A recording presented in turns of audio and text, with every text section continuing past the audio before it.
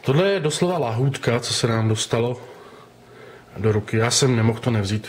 Při současném eh, nedostatku kvalitních motýlů, který je daný samozřejmě restrikcemi ve většině států eh, světa, už dneska, nejenom Ameriky, tak tenhle ten nádherný, sofistikovaný, velký motýl eh, nemohl uniknout mojí pozornosti.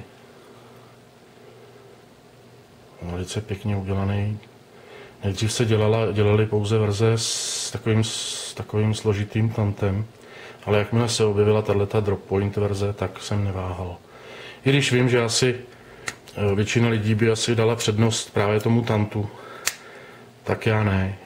Já motýla eh, bych klidně nosil jako EDC, protože to jsou velice praktický, pěkný nože, velký, skladný. V případě 5 a 4 palce v zavřeném stavu. Přitom si myslím, že to příliš kapsu nezatíží, protože je takový to poměrně ještě nositelný, když tady ta tloušťka je znatelná. Pak se mně líbí ta možnost použít ho jako kubotan, zejména tady třeba s tím hrotem, který tam není kvůli, jenom kvůli tomu, aby eh, byla ta rána bolestivější, ten tam je nutný pro vymezení vůle mezi střenkama, když se ten nůž otevře. Čepel je z D2, nebývalá tloušťka čepele u motýla. Krásná praktická čepel.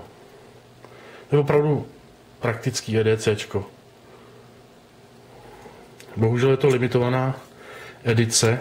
Tohle to je 228. kus z 300, takže jich je jenom 300 na celém světě.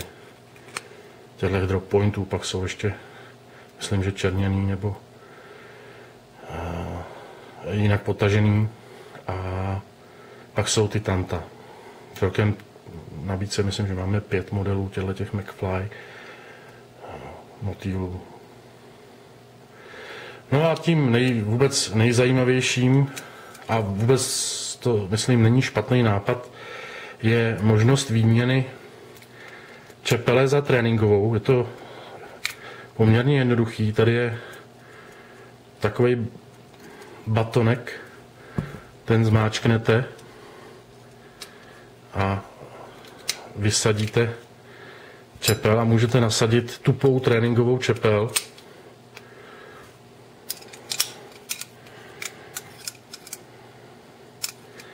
To tam dal správně.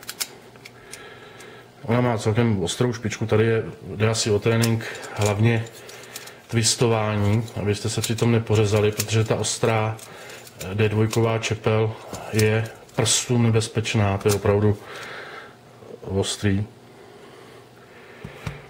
Takže na to twistování je tady tupá čepel. Skvělý nápad. Fantazie je, že to je vlastně úplně to samé, takže tam je stejný vyvážení. To, co se dělají různý takový ty vrtaný tupý čepele, já si myslím, že tam je potom jiný poměr hmotnosti a je to jinak vyvážený a to twistování může mít trošku jiný parametry. Tady je to úplně stejný nůž, i v tom tupým, i v tom ostrým módu. A je to pořád jeden nůž. Zajímavý by bylo ještě, kdyby třeba se nabízela i ta tamto ostrá čepel přímo k tomu noži v setu, ale to už by bylo asi příliš drahý. Asi ne, nestravitelný. Máme zpátky ostrou verzi. zajištěním stavu pěkně drží, nic necinká. Je tady klips, ten mnoha motýlům chyběl pohodlnému nošení a cvičná čepel.